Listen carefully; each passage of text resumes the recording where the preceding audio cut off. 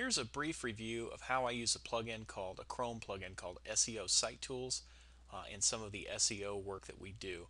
What I really like about this tool, yeah, you can see the name of it here, and if you uh, search for this on uh, the Chrome store, you'll be able to find it. It's uh, what I really like about this tool is it aggregates a lot of interesting data for us. So let's say, for instance, that we're going to evaluate a, uh, a web directory and the quality of a link in a web directory. Uh, and let's say that this link has something to do with, oh, I don't know, let's call it uh, martial arts. So here's the martial arts page. Uh, this is a bad example because there's nothing in that category. Uh, let's go to, I don't know, business. There's got to be something in the, yeah, here we go. Automotive. What do you know?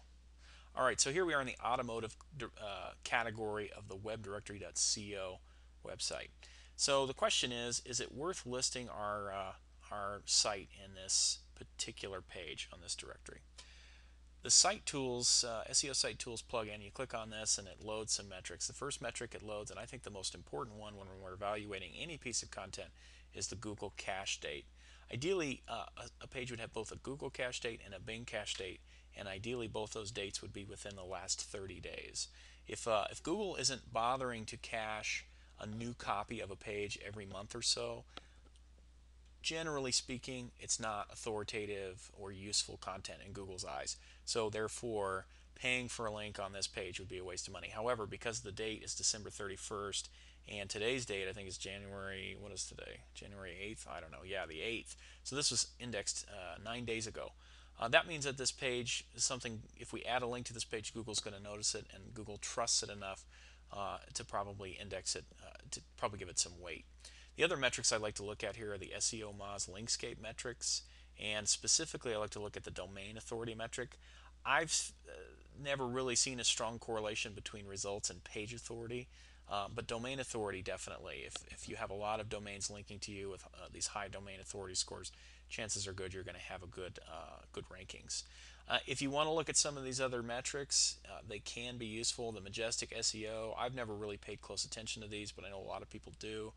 Uh, and then you can also get a sense of maybe where the uh, the site is in terms of popularity by looking at some Alexa and Quantcast data. So this is just the first tab though. There's actually one, two, three, four, five, what is this, six different tabs. Uh, other tabs that I'll look at uh, occasionally, the social media tab is pretty cool because it'll tell us if uh, it's not really useful on a directory page, but let's say we're looking at a blog post, it'll tell us how many times that uh, page or at least that domain's been tweeted or uh, liked on Facebook or whatever if it's been uh, on Digg.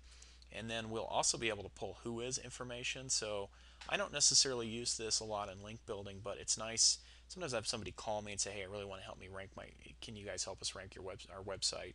I'll check WHOIS to make sure the person I'm talking to is the person that owns the site. Uh, you can see where the uh, site is hosted, which kind of gives you a sense of you know how sophisticated the, the site is, how big the site is. Something that's hosted by GoDaddy may or may not be as busy as something hosted by uh, Rackspace.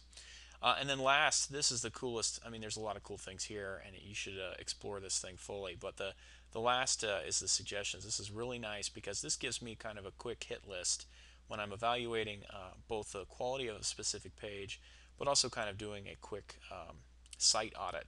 This will tell me for a directory, this is really important. Are there more than 100 links on our page? If there are, it's probably not a good directory to, to buy a placement in or to, to try and submit to.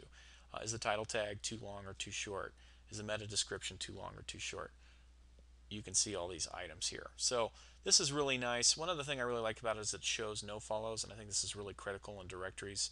Uh, if we have a no followed link, like this one right here, advanced search, uh, we'll know because it'll be uh, what I don't know what do you say highlighted in red. So anyway, this directory might be worth list, linking, uh, listing in. Now let's say we could get a uh, blog post on this mygreenwheels.com website. Uh, let's say we get a guest post here. When was the last time that Google crawled this site? Okay, January 5th, so a couple days ago. Domain authority, it's over 25, which in my mind is kind of the threshold.